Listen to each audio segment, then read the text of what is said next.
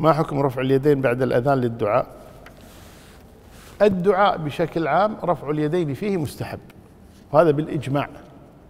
ولذا قال النبي صلى الله عليه وسلم ذكر الرجل يطيل السفر يرفع يديه إلى السماء. أشعث أكبر اللهم آه، يا رب يا رب. فرفع اليدين في الدعاء مستحب. وقد جاء في الحديث إذا سألتم الله فاسألوه ببطون أكفكم ولا تسألوه بظهورها. فرفع اليدين مستحب في الدعاء.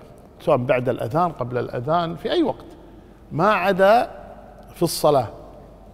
واحد يدعو وهو ساجد مثلا يدعو بين السجدتين يدعو آه، في القيام بعد الركوع. هذه كلها ما فيها رفع يدين لأن النبي صلى الله عليه وسلم ما رفع يديه في هذه الأماكن. واختلف أهل العلم في خطبة الجمعة. هل له أن يرفع يديه والإمام يخطب أو ليس له ذلك؟ والأكثر أنه ليس له ذلك لنهي بعض الصحابة عن ذلك. وبعضهم قال حتى في خطبة الجمعة يرفع يديه. ما في بأس.